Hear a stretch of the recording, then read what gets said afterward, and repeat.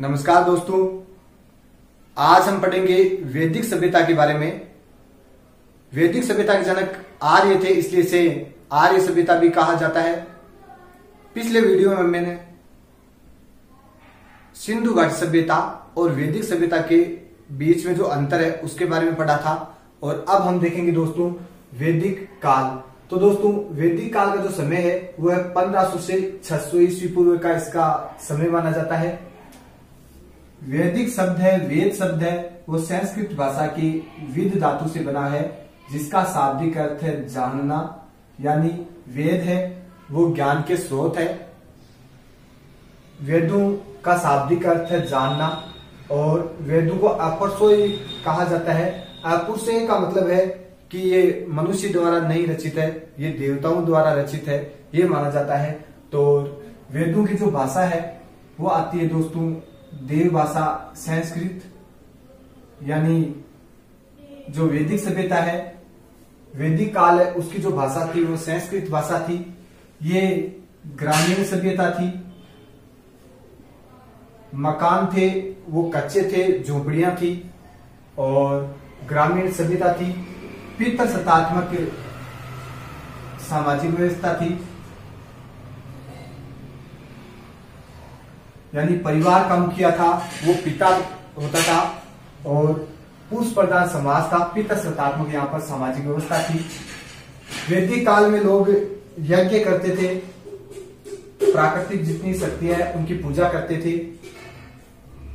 अब हम देखते हैं दोस्तों कि वैदिक जो काल है, उसके बारे में जो जानना है, उसके बारे में हम देख सकते हैं कि वैदिक सभ्यता के जानकारी के स्रोत यानी इसकी जानकारी के स्रोत क्या है?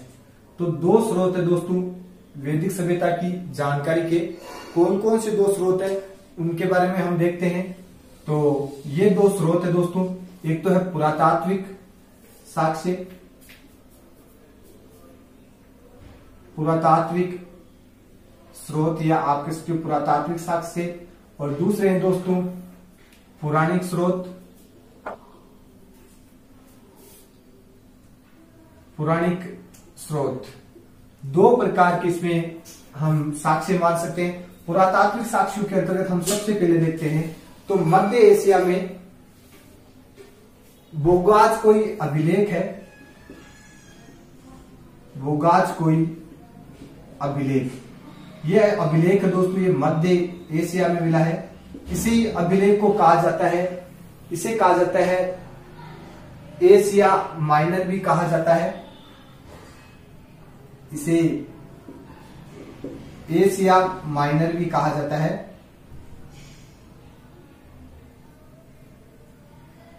ये जो अभिलेख है, वो 1400 ईस्वी पूर्व में लिखा गया था और 1400 ईस्वी पूर्व का ये जो अभिलेख है दोस्तों, इस अभिलेख की जो प्रमुख विशेषता है, वो ये है कि इसमें वैदिक जो चार प्रमुख देवता, उनका वर्णन किया गया है। इसमें दोस्तों इंद्र है, वरुण है, मित्र है और ना सकते हैं।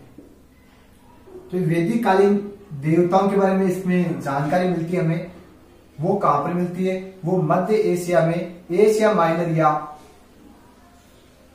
बोगाज कोई अभिलेख है? इस अभिलेख में दोस्तों, इसके बारे में जानकारी मिलती है हमें। ऋग्वेदिक काल या वैदिक कालीन जो देवताएँ हैं, उनके बारे में हमें जानकारी मिलती है। इसके साथ में दोस्तों, जो मृद भांड है प्राचीन काल के जो मृद भांड है, उनसे भी हमें पुरातात्विक साक्ष्यों के बारे में, यानी वैदिक काल के बारे में हमें जानकारी मिलती है। उसके बाद हम साहित्यिक स्रोत देखते हैं। तो साहित्यिक स्रोतों के अंदर हम देखते हैं दोस्तों की जो वेद है, वो आ जाएँगे। जैसे ऋग्वेद आ जाएगा, ऋग्वेद के बाद में यजुर्वेद आ जाएगा,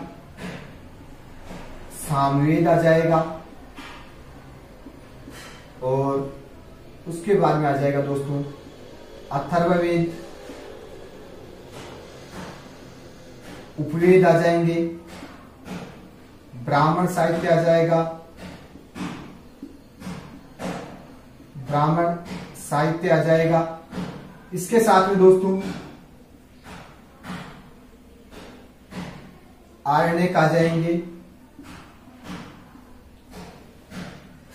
महाकाव्य आ जाएँगे। दर्शन आ जाएँगे। ये सब है वो पुराता, पौराणिक स्रोत आ जाएँगे, साहित्यिक स्रोत मान सकते हो आप इनको यानी ये साहित्यिक स्रोत आ जाएँगे और इनके द्वारा हमें वैदिक काल के बारे में जानकारी मिलती है। तो दोस्तों, वैदिक काल को हमने दो भागों में बांटा और इसका जो समय पंद्रह सौ से छह सौ ईस्वी पूर्व में है। वैदिक शब्द यानी वेद है वैदिक काल के बारे में वेदों से जानकारी मिलती है। इसलिए जो वेद शब्द है, वो संस्कृत भाषा के विद धातु से बना जिसका शाब्दिक अर्थ है जानना। वेदों को अपुस्व भी कहा गया है। वेदों की भाषा है, वो संस्कृत है। वैदिक सभ्यता ग्रामीण थी, मकान कच्चे थे, झोपड़ियाँ थी, और पितृत्मक ये सामाजिक व्यवस्था थी। वैदिक सभ्यता में पिता परिवार का मुखिया होता था, और इसकी जो जानकारी, जो स्रोत है, उनको हमने दो भागों में बांटा। एक तो पुरातात्विक साक्ष्य, जिसमें बोगाज कोई अभिलेख है, जो एशिया माइनर भी कहा जाता है, जो चौदह सौ ईस्वी पूर्व में का है। और इसमें वैदिक कालीन इंद्र, वरुण, मित्र और नासत्य, इन देवताओं के बारे में वर्णन किया गया है। और दूसरा है मृद भांड, इनके द्वारा भी हमें इसके बारे में जानकारी मिलती है। इसके साथ में दोस्तों, पुरातात्विक या पुराणिक या साहित्यिक स्रोत है, उसके अंतर्गत हम देखते हैं तो इसमें ऋग्वेद आ जाएगा, यजुर्वेद, सामवेद और अथर्वेद ये तो चालू वेद है। इसके साथ में दोस्तों उपवेद आ जाएँगे, ब्राह्मण साहित्य आ जाएँगे आरण्य आ जाएँगे, महाकाव्य है। तो अन्य जितने जो प्रमुख ग्रंथ आते हैं, साहित्यिक, वो साहित्यिक स्रोत के अंतर्गत आ जाएँगे। इनसे हमें वैदिक काल के बारे में जानकारी मिलती है। अब हम देखते हैं दोस्तों कि वैदिक काल के अंतर्गत आर्य के बारे में हमें जानकारी मिलती है और आर्य का जो शाब्दिक अर्थ है, वह है श्रेष्ठ जन। श्रेष्ठ जन यानी उच्च कुल में उत्पन्न होने वाला या श्रेष्ठ जन। ये वैदिक काल में हमें इसके बारे में जानकारी मिलती है आर्य के बारे में। और अब हम देखते हैं दोस्तों कि आर्य का जो मूल स्थान है, वो कौन सा था? तो अलग अलग विद्वान है, उनके द्वारा अलग अलग मूल स्थान बताए गए हैं। उनमें सबसे पहले हम देखते हैं तो सबसे जो मान्य मत है, वो है दोस्तों मैक्स मुलर का। और मैक्स मुलर ने यह बताया कि आर्य है वो मध्य एशिया से आए। तो आर्यों के आने का सबसे जो मान्य मत है, वो है दोस्तों सर्वाधिक मान्य मत, वो मैक्स मुलर का है कि आर्य मध्य एशिया से आए थे। और मध्य एशिया से आने के बाद ये सर्वप्रथम है, वो सबसे दो प्रदेश में आए थे। और उसके बाद में उत्तर वेदी काल में गंगा यमुना द्वार क्षेत्र में आए थे। उसके बाद में हम देखते हैं दोस्तों, बाल गंगाधर तिलक, बाल गंगाधर तिलक। तिलक ने कहा कि दोस्तों, आर्य है, वो आर आरक्तिक प्रदेश से आए थे, यानी आप कह सकते हो कि उत्तरी ध्रुव से आए थे। तो उत्तरी ध्रुव से आर्य आए थे। इसके बारे में बाल गंगाधर तिलक ने कहा है और उन्होंने इस कारण से कहा है क्योंकि वेदों में यह बताया गया है कि छह माह का दिन होता है, छह माह की रात होती है। इस आधार पर बाल गंगाधर तिलक ने कहा कि आर्य वो आर्कटिक प्रदेश या उत्तरी ध्रुव से आए। उसके बाद में हम देखते हैं दोस्तों कि स्वामी दयानंद सरस्वती दयानंद सरस्वती और दयानंद सरस्वती ने कहा कि आर्य है, वो तिब्बत से आए हैं। तो आर्य का मूल स्थान तिब्बत किसने बताया? दयानंद सरस्वती ने। उसके बाद में पंडित गंगानाथ झा और इन्होंने बताया कि आर्य का जो मूल स्थान है, वो ब्रह्म देश है। ब्रह्म ऋषि देश है। यानी जो सतलज से लेकर और गंगा के बीच का भाग है, वो इन्होंने बताया था। गंगानाथ जानने की इनका जो मूल स्थान है, वो ब्रह्म ऋषि देश है। इस प्रकार दोस्तों, ये अलग अलग विद्वान थे जिन्होंने आज उनके मूल स्थान के बारे में जान अब हम देखते हैं दोस्तों कि विलियम जोस ने यूरोप आज उनका मूल स्थान बताया। बेंडेनिस्ट ने दक्षिणी रूस को आर्य का मूल स्थान बताया। पी. गायस ने हंगरी, जो यूरोप में एक देश है, वो आर्य का मूल स्थान बताया। नेहरिन व गार्डन साइल्स ने दक्षिणी रूस को आर्यों का मूल स्थान बताया। और डॉक्टर अविनाश चंद्र सबसे मोस्ट है दोस्तों, डॉक्टर अविनाश चंद्र ने साउथ सेंट्रल प्रदेश को आर्यों का मूल स्थान बताया था। और डॉक्टर संपूर्ण नंद ने यूरेशिया या आल्पस जो पर्वत है, उसके पूर्वी भाग को आर्यन का मूल स्थान बताया, और एनसीआरटी भी आर्यन का जो मूल स्थान है, वो यूरेशिया या आल्पस पर्वत के जो पूर्वी क्षेत्र है, उसको ही आर्यन का मूल स्थान मानती है। डॉक्टर डी एस त्रिवेदी ने देविका, यानी मुल्तान में एक जगह, उसको आर्यन का मूल स्थान बताया। एल डी कला ने कश्मीर व हिमालय क्षेत्र को आर्यन का मूल स्थान बताया। रॉड्स ने बैक्टीरिया को आर्यन का मूल स्थान बताया, जबकि पेनका व हर्ट ने जर्मनी को आर्यन का मूल स्थान बताया। मेयर, कीथ, ओल्डन, बर्ग, इन्होंने पामीर के पठार को आर्यों का मूल स्थान बताया। राजवली पांडे ने मध्य भारत को आर्यों का मूल स्थान बताया। तो दोस्तों, ये आर्यों के मूल स्थान के बारे में बार बार एग्ज़ाम प्रश्न पूछा जाता है। उनमें से केवल आप चार याद रख लेना। एक तो मैक्स मुलर का याद रखना। मैक्स मुलर के अनुसार सबसे मान्य मत है जो मध्य एशिया आर्यों का मूल स्थान। बाल गंगाधर तिलक, इनके अनुसार आर्यों का मूल स्थान आर्टिक या उत्तरी ध्रुव प्रदेश है। दयानंद सरस्वती, इनके अनुसार तिब्बत है। गंगानाथ झा इनके अनुसार ब्रह्म ऋषि देश है। और उसके बाद में आपको याद रखना है दोस्तों कि डॉक्टर अविनाश चंद्र इनके अनुसार सब सिंधु प्रदेश यानी सिंधु और जो सात नदियाँ हैं, वो क्षेत्र कहलाता है सब सिंधु प्रदेश। तो वो आर्यु का मूल स्थान बताया। तो ये दोस्तों आर्यु के मूल स्थान के बारे में है और आर्यु आर्य है, वो वैदिक सभ्यता के जनक थे, इसलिए इसे आर्य सभ्यता भी कहा जाता है, वैदिक सभ्यता को। अब हम देखते हैं दोस्तों कि वैदिक सभ्यता के जनक आर्य थे। वैदिक सभ्यता एक भाषा से थी और देव भाषा संस्कृत थी और ये पितर प्रधान सभ्यता थी, ग्रामीण सभ्यता थी वैदिक सभ्यता। वैदिक सभ्यता को हम प्रमुख रूप से दो अलग अलग भागों में बांटते हैं। वो दो भाग कौन कौन से हैं, उनके बारे में हम देखते हैं दोस्तों। तो वैदिक सभ्यता के दो भाग है। एक तो है पूर्व वैदिक काल, पूर्व वैदिक काल। और दूसरा है दोस्तों, उत्तर वैदिक काल। उत्तर वैदिक काल। तो वैदिक सभ्यता को हमने दो प्रमुख भागों में बांटा है। पूर्व वैदिक काल, उत्तर वैदिक काल। ये जो पूर्व वैदिक काल है इसी को कहा जाता है दोस्तों, ऋग्वेदिक काल। ऋग्वेदिक काल और उत्तर वैदिक काल है। इन दोनों के बारे में हम देखेंगे दोस्तों। तो पूर्व वैदिक काल, इसको ऋग्वेदिक काल कहा जाता है इसका जो समय है, वो आता है दोस्तों 1500 ईस्वी पूर्व से लेकर 1000 ईस्वी पूर्व तक। यानी 1500 ईस्वी पूर्व से लेकर एक हज़ार ईस्वी पूर्व तक का जो समय है, वो कहलाता है पूर्व वैदिक काल या ऋग्वेदिक काल, जबकि उत्तर वैदिक काल का जो समय है, वो है दोस्तों एक हज़ार ईस्वी से लेकर 600 ईस्वी पूर्व का समय। ये कहलाता है दोस्तों उत्तर वैदिक काल। तो वैदिक काल को हमने दो भागों में बांटा है, एक पूर्व वैदिक काल और दूसरा आता है दोस्तों, वो आता है उत्तर वैदिक काल। अब हम देखते हैं कि पूर्व वैदिक काल के अंतर्गत एक प्रमुख विवेद है, वो आता है दोस्तों ऋग्वेद। इसके अंतर्गत ऋग्वेद आता है, जो साहित्य स्रोत है, जबकि उत्तर वैदिक काल के अंतर्गत जो प्रमुख आते हैं, वो तीन तो वेद आ जाते हैं। यजुर्वेद, इसके साथ में दोस्तों सामवेद, अथर्ववेद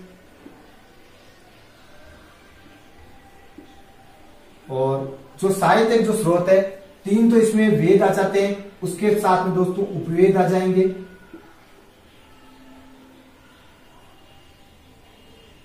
उपवेद के बाद में जो आते हैं वो दोस्तों आरण्यक आ जाएँगे। ब्राह्मण साहित्य आ जाएगा। उपनिषद आ जाएँगे। महाकाव्य आ जाएँगे। ये जो सब के सब जो स्रोत है, वो सब के सब उत्तर वैदिक काल के अंतर्गत आ जाएँगे। तो दोस्तों, इन दोनों के बारे में अगर हम तुलना करके देखते हैं, यानी ये आ गया आपके इस तरफ़ ऋग्वेदिक काल और इस तरफ़ आ जाएगा उत्तर वेदिक काल।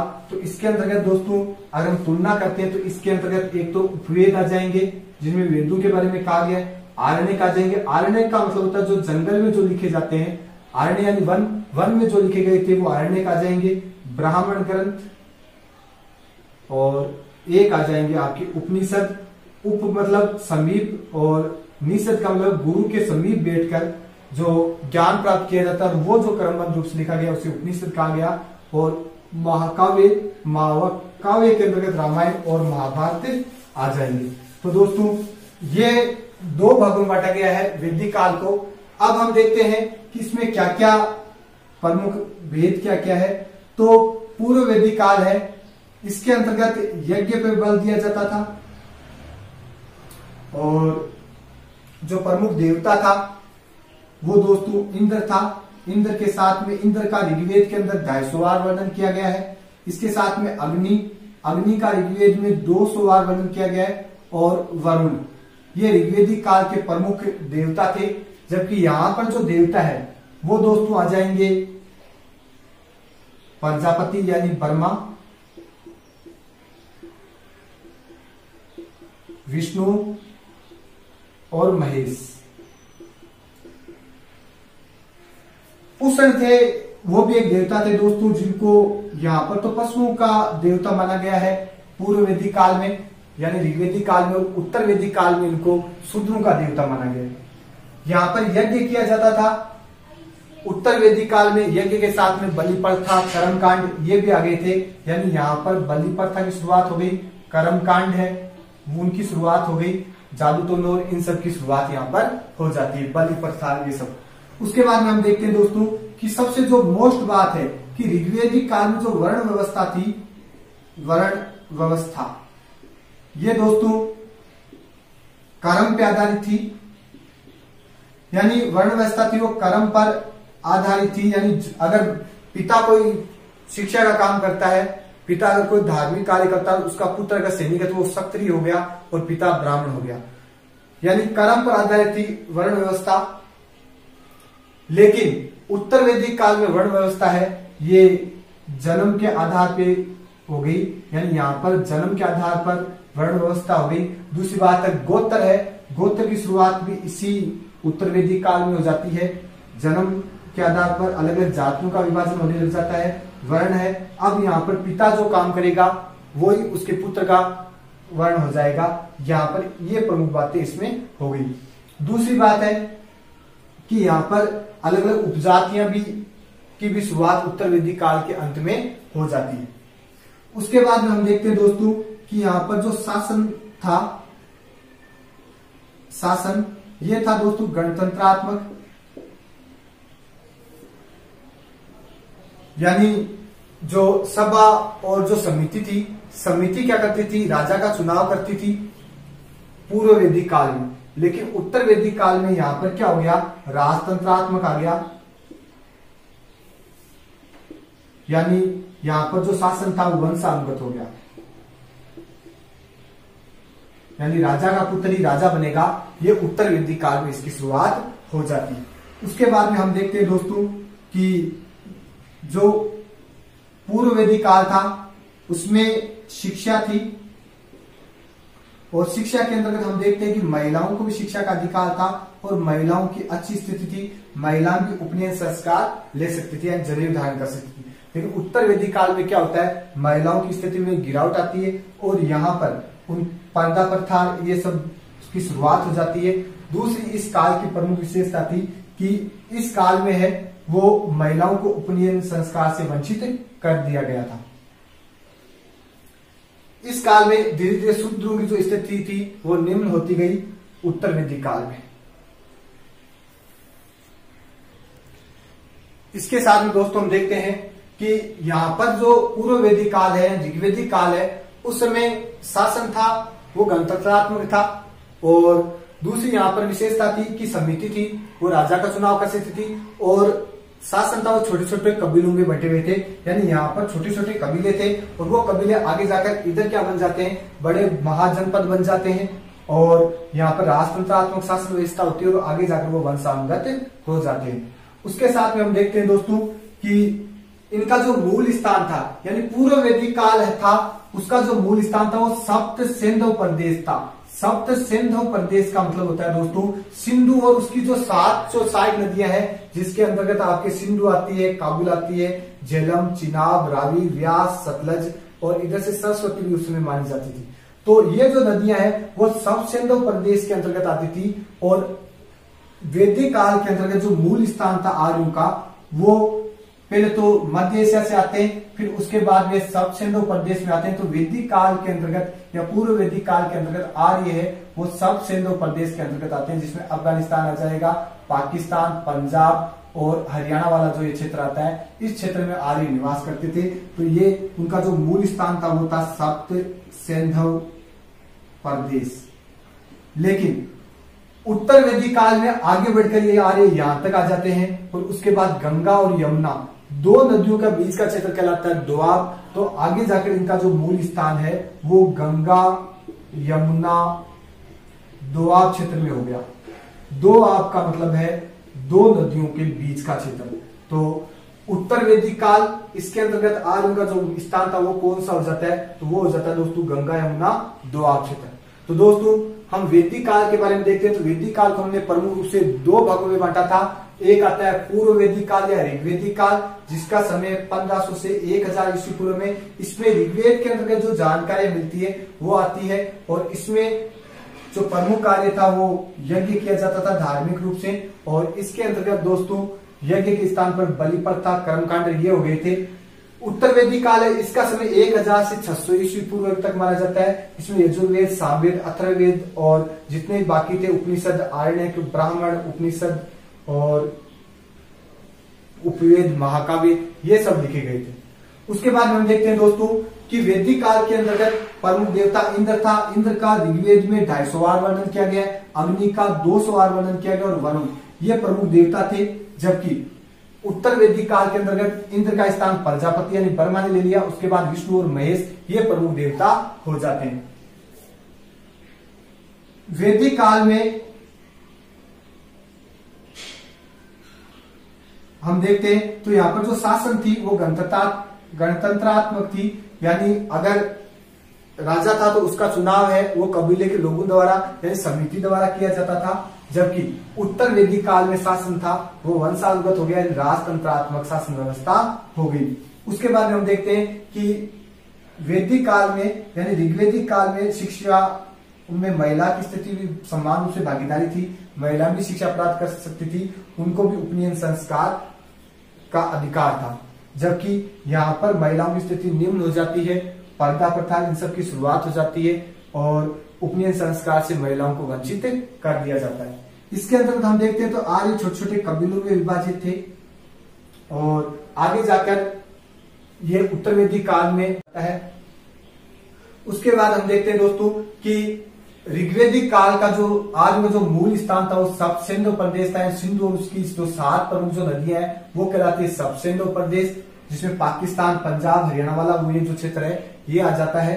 जबकि उत्तर वैदिक काल के अंदर गंगा, यमुना, दो आगे, दो नदियों के जो बीच का क्षेत्र है, यहाँ पर आर्य आ गए थे। तो ये दोस्तों, पूर्व वैदिक काल यानी ऋग्वेदिक काल और उत्तर वैदिक काल में प्रमुख रूप से भेद है। अब हम देखेंगे अलग अलग जो चार प्रमुख जो वेद है, उनके बारे में हम पढ़ेंगे। वैदिक काल में सामाजिक, आर्थिक, राजनीतिक जो व्यवस्था है, उन सब के बारे में हम अगले वीडियो में पढ़ेंगे। थैंक यू दोस्तों।